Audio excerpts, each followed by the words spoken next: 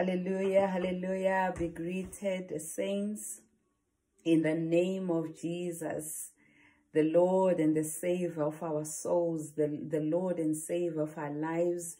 You are greeted this morning. Such a beautiful and a wonderful day that the Lord has made. It is a day that is full of the promises of God. It is full of victories in the name of Jesus. This very name, the Bible says, it is a strong tower. The righteous run into it. They are safe. We celebrate that in Christ we found a place that we can call safe, a place of refuge, our fortress. The Bible says Christ is our defense. Christ is our protection.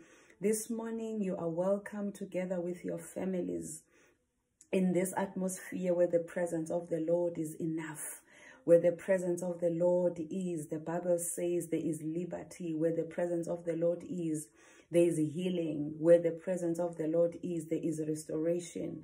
Where the presence of the Lord is, definitely there is deliverance. You are assured this morning as we prepare our hearts for prayer. This is an opportunity for us for intercession, which is an opportunity for us to pray you we are welcome to prepare our hearts to prepare our spirit that we may allow the word of god to work in us. Allow the holy spirit to minister to us. Now we are charged this morning that may we give our hearts to him and say lord i just want to surrender my heart to you. I want to silence every noise. I want to silence every sound but fully give my heart to you as we come into a place of fellowship. We are preparing our hearts, Bazalwane, for the word of God. Wow, the Bible says when you read Hebrews chapter 4, verse 12, the word of God is alive. Other versions, they says the word of God is quick. The word of God is powerful. The word of God is sharper than any double-edged sword. The word of God is able even this morning, even in this dispensation, even in this time, the word of God is able to separate, you know, bone and marrow. The word of God is able to separate the soul and the spirit. There's one portion that I love also in that scripture. Then it says the word of God is able to discern our thoughts. This morning we want to come before the throne of grace with thoughts that are aligned with the will of Christ. We want to pray this morning in a position where there's absolutely nothing in us that will arise and stand against the preaching and the ministry of the word. David says something that is wonderful in Psalms 119. He says the entrance of his word brings light. The word of God that we are going to receive this morning, I charge you that position yourself, that the light of Christ will come. Where there was darkness in your life, light will come and penetrate. The Bible says the word of God makes the simple wise. You might be saying this morning, I know nothing, but as you yield your spirit, give yourself to the word of God, you are guaranteed to be the one that will be counted amongst the wise. Just want to pray and charge the atmosphere and we'll continue to declare the word of God together with our loved ones. Father, in the name of Jesus, the name the Bible says it has been exalted above all other names. We come, Lord, in submission. We come, Lord, in reverence. For you alone are God. Besides you, there is no other. We come this morning, my Father, because your record has been good and it shall continue to, to be good. It is in your word, where we find your purpose concerning us. Now this morning, hear the hearts of your people, my Father and my God. We come because we understand the word says, ubani longayadi. This morning, uNkulunkulu wethu onamandla, May our hearts be aligned with you. In the name of Jesus Christ, we fully commit ourselves to you as we declare your word. This morning, we are using our tongues like a pen in the hand of a skillful writer. We are proclaiming, we are affirming your word. My God, in the name of Jesus, take over the atmosphere in Jesus' mighty name. May you declare with me boldly, if you can, you can stand on your feet. If you can, you can walk around. If you can, you can hold the hands of your loved ones. We are declaring this morning, we are taking charge. We are proclaiming the word of God that is alive. I declare this morning that I am filled with the word of his knowledge. I declare this morning that I am filled with all spiritual wisdom. I declare this morning that I am filled with all spiritual wisdom. I declare this morning that I am pleasing unto the Lord. I declare this morning that I walk worthy of the Lord. And I proclaim this morning in the name of Jesus that I am increasing in knowledge. I am increasing in wisdom. Therefore, I am bound to be fruitful. In the name of Jesus, I declare this morning um, that I am blessed to be a blessing to many. I declare this morning that I bear the name of the Lord, um, and people of the earth will know that I belong to the Lord. I declare this morning um, in the name of Jesus that I am victorious. I declare in the name of Jesus that I move from power to power. In the name of Jesus, I declare this morning that I am no longer a slave to sin. I declare this morning that I have been translated, have been translated by God from the kingdom of darkness to the kingdom of light. I walk in the light of Christ. Victory and victory and victory is what I walk into this morning in the name of Jesus. And I declare that I am above any conqueror in the name of Jesus. May you be blessed as you receive the word of God. Believe every word that you have declared. Remember your word, your voice as you are declaring in the atmosphere. They have created electronic waves. You have charged the atmosphere. You are ready to receive of the word. Be blessed and shalom in Jesus' name. Amen. I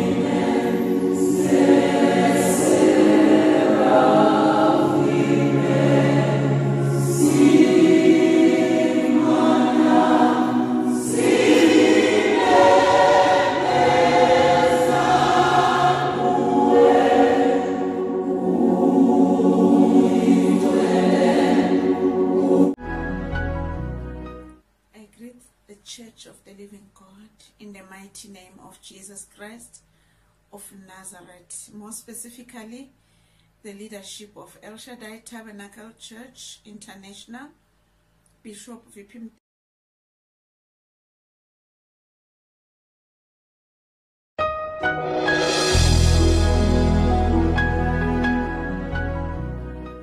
I greet the Church of the Living God in the mighty name of Jesus Christ of Nazareth, more specifically, the leadership of El Shaddai Tabernacle Church International, Bishop Vipim Daga and Mamorin, the presiding apostles, and the whole church at large in this time, special time for the body of Christ, the Passover.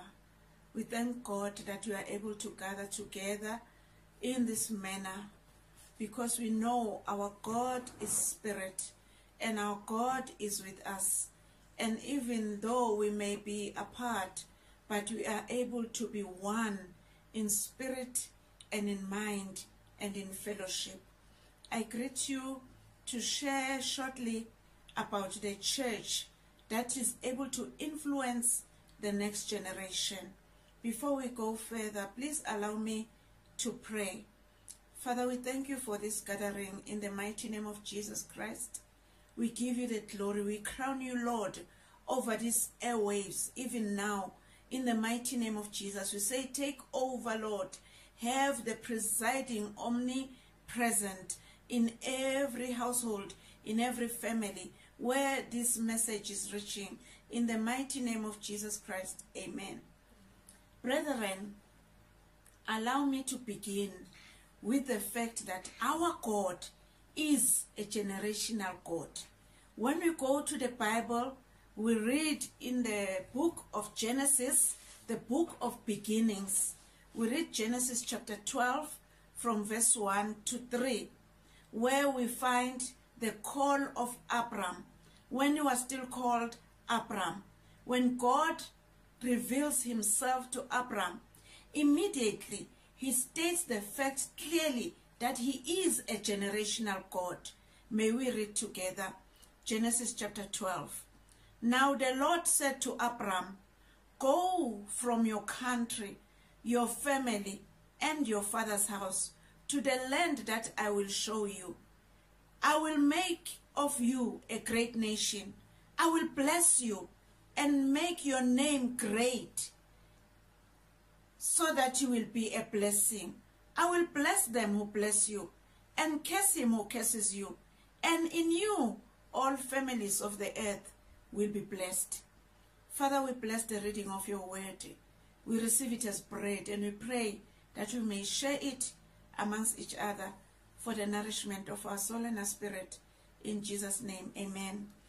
Brethren, I am so excited about this scripture.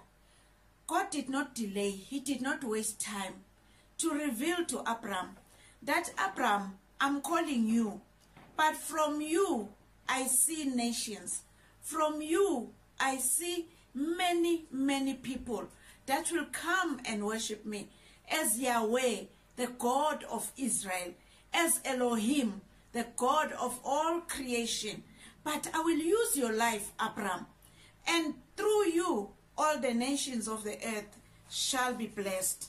We thank God that in the scripture, Abram is being removed from his bloodline, from the family that he knows, according to blood. He is being led to a family that he will have, according to the Spirit. It is a template for the whole church that even as a church, we shall be moved from the families of our bloodline to the families of the Spirit. I wish to zoom in on verse 3, where the Lord says to Abram, I will bless those who bless you and curse those who curse you. And in you, all the families of the earth will be blessed. It makes me so excited as an African that from the beginning, God had Africans in mind. From the start, God had us in mind. Abraham, you are Israel, but in you, I see Africa. So I'm not blessing you now, but I'm already having a generation in mind. So allow me, brethren, to move to the first, to the second testament that God is a God of generations. That's why we are called to be a church that is able to impact the next generation. In Jesus' name, amen.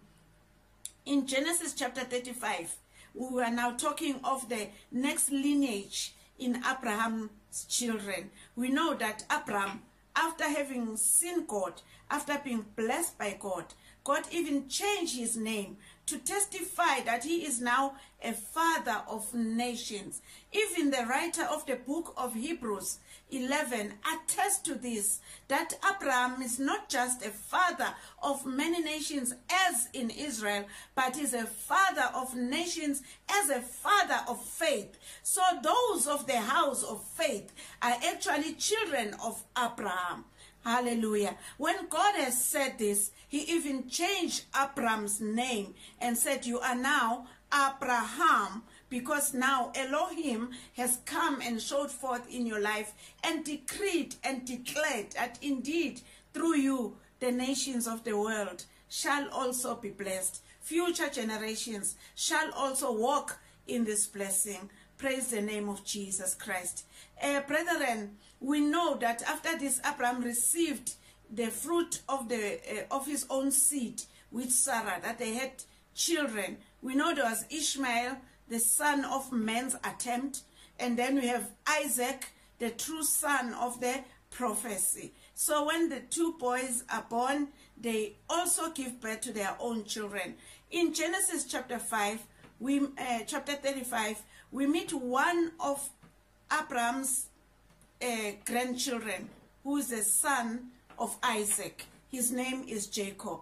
Now, in chapter 35, God instructs Jacob to go back to Bethel, where they met, where Jacob first met God in Bethel.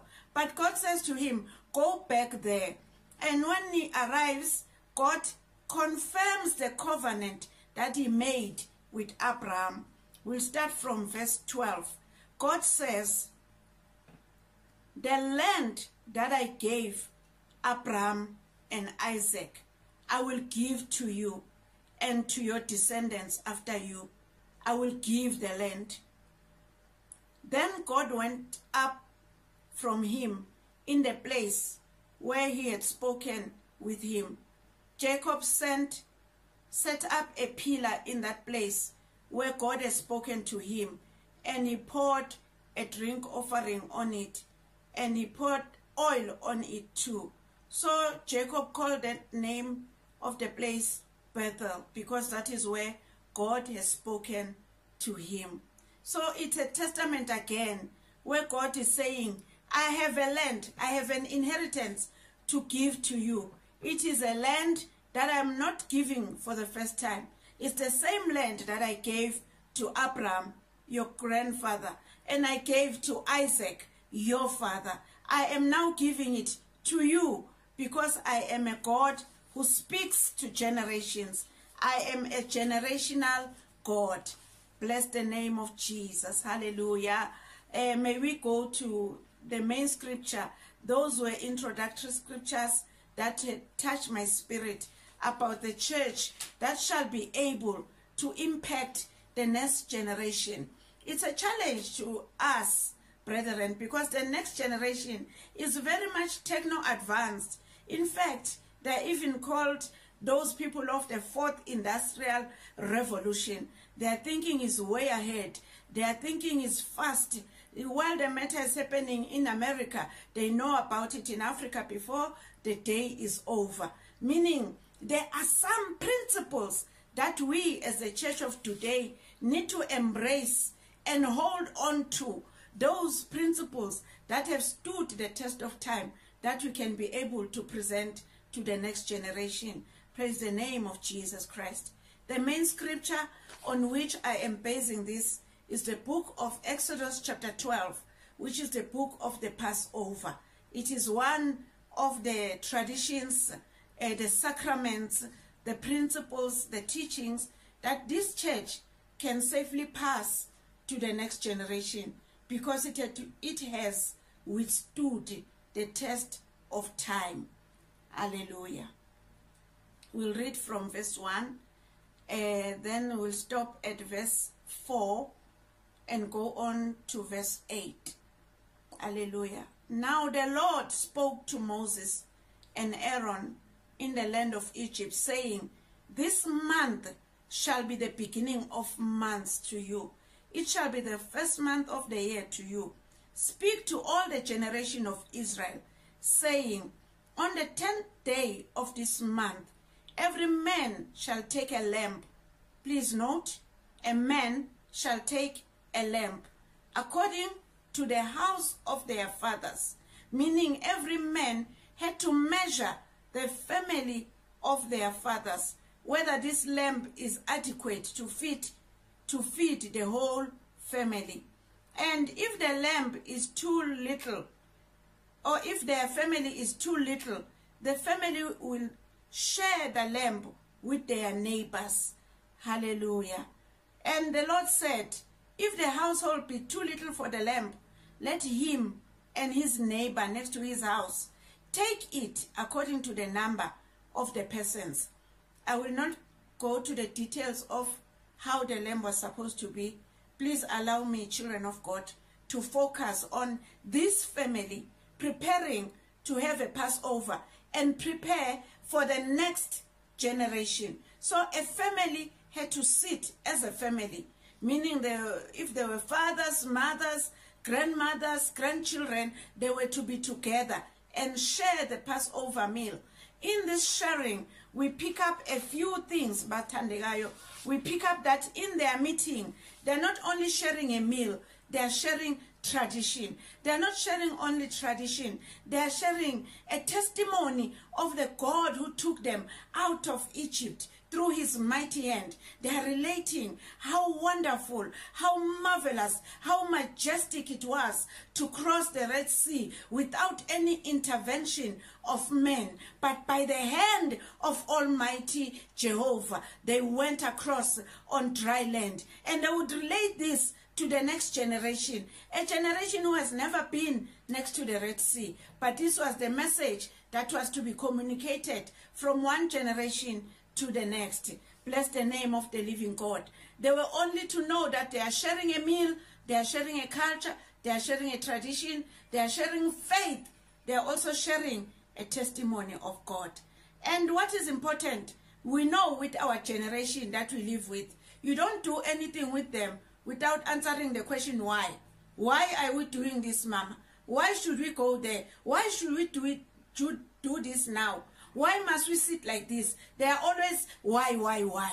But in this instance, in the Passover celebration, it was a good ground, fertile ground for one generation to answer the why to the next generation by indicating that the Passover was begun because God was dealing finally with the enemy of Israel. He was dealing with Egypt. He was dealing with sin. He was dealing with the futile nature of man to present a redemption which comes from above, a redemption which comes from God. Because from the lamb, the blood was to be used and be smeared on the doorpost to protect that family. God had given an instruction.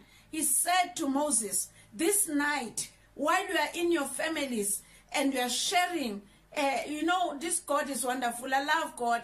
He's God of order and great uh, orchestration of events. While they are sharing the meal, they as a family, they are not worried. They are not stressed because they fulfilled the commandment. God said, when you slaughter the lamb, use the blood, smear the doorposts. When I see the blood on every doorpost, the angel of death will pass that house. They will not die. So the family was not stopped only for one incident. It was saved even for future generations. May we bless the name of Jesus. Bazalwane, brethren, it is important uh, for us, those who are of the old fort, the old school, we, we must be able to share these secrets, these nuggets with the next generation. Uh, if we can go back to um, the Exodus incident, we learn, Batandegayo, that in this incident, um, Israel was a holy nation set apart by God to worship and serve only Him and no other God. And they were in the midst of a people that served other gods. And while they were serving other gods, they had heard that Israel is serving this different God that they haven't seen with their own eyes, but whose works are well known, whose works have been seen. Others have testified how the Great Sea had swallowed uh, Pharaoh's army, and uh, others have learned how uh, God had done great mysteries in Jordan. But in this instance, God was revealing himself as the God above other gods. That is why the instruction was, if in your house you have smeared the blood on the doorpost, you shall be saved. It's amazing, uh, brethren, that every time when God instructs us to do things that will save us, he instructs us on things that look very foolish things that look very much like they don't make sense. Like in the current scenario we find ourselves in, the most uh, uh, proficient position, most suitable position, most winning position for the church is prayer, is a, a, a position of intercession. And even this Holy Communion, which you come with from the book of Exodus, chapter 12, it's a winning place for the church, but it looks very foolish. It, looks very nonsensical, if I may say so, to the next generation. We drink uh, uh, fruit that represent the blood of Jesus. We take bread and we are saved from a tangible attack. How is this possible? But we know that our God is a miracle working God. This is the same God that allowed a virgin to be pregnant and give birth to the Savior of the world. This is the same God that allowed a man who was running after Christians to destroy them. That is a Saul of Tarsus to have a moment or a, a, a, a situation where he meets with God and he understands that I have met with the God of Israel and I must repent of my ways and follow this God. And he throws everything to the side. He follows God and he stands out as an apostle of God, having written most of the New Testament. In reality, our God is more real than what is known to be real. Our God is more real than the battles we face. Our God is more real than the challenges we face. So, going back to the scripture of the Passover, the Bible reports in verse 14 that God instructed Moses that this day shall be a memorial to you, and you shall keep it as a feast to the Lord. Hallelujah. The day of the Passover shall always be a memorial. It shall always be remembered and always be engaged in. Hallelujah. As a nation, you will remember Passover. But the reason behind remembering Passover is also that it is a feast to the Lord, your Savior, in Jesus' name. Throughout the generations, you shall keep it as a feast and an ordinance. This is how we can impact the next generation. This is a feast that we celebrate to thank a Lord, a God or our Lord who has saved us.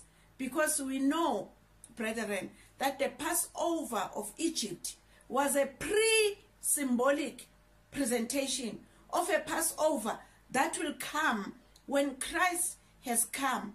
When Christ came, he fulfilled this which was symbolic in the physical, not only for Israel now, but for the whole world. So the generation that shall receive Christ shall be the generation that walks in victory, even in this fourth industrial revolution in Jesus Christ's mighty name. Hallelujah. And uh, some people may say, well, the Passover and the generational tendencies of God went by with the Old Testament. No, I beg to differ, child of God. If you read in the book of First Peter chapter 2 verse 9, God declares to our generation, to this new creation now, he says, but you are a chosen race. You are a chosen people. You are a peculiar people. You are a royal priesthood. Oh, hallelujah. What a way. You are royal and you are a priesthood. You are a combination of the divinity that was previously separated, but you have been brought together to be a royal priesthood. And you are a holy nation.